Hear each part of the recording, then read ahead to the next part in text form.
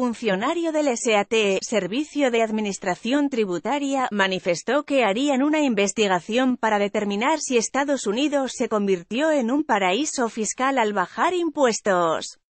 Aunque a los pocos días la SHCP señaló que no harían esa investigación, quedó de manifiesto que muchos funcionarios consideran un bien para la sociedad aumentar impuestos y una política antisocial reducirlos.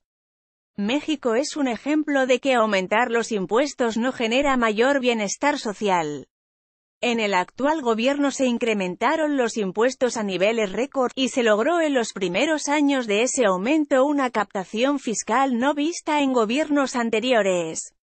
El aumento de impuestos fue acompañado de más gasto público, un menor crecimiento, menos inversión, más deuda y más corrupción. Si a un país con bajos impuestos lo rotulan como un paraíso fiscal, México es entonces lo contrario, un infierno fiscal.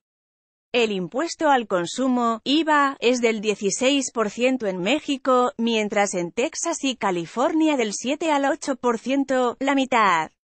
La proporción de impuestos que por diversas vías pagan las empresas de sus ganancias suman en Estados Unidos de América, antes de la reciente reducción, un 44%, en México alcanzan el 52%. Más de la mitad de las ganancias van al socio mayoritario de todas las empresas, el gobierno, pues se queda con la mayor parte.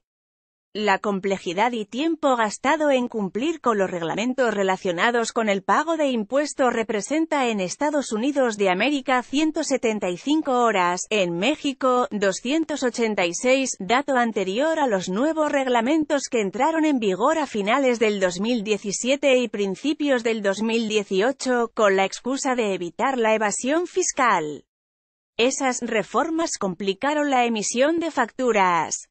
Antes, me decía un contador, un micro o pequeño empresario emitía en 5 minutos una factura, ahora muchos de ellos sin computadora no la pueden emitir, y aún con computadora tardan más de media hora en emitir la factura, sin contar la segunda complementaria.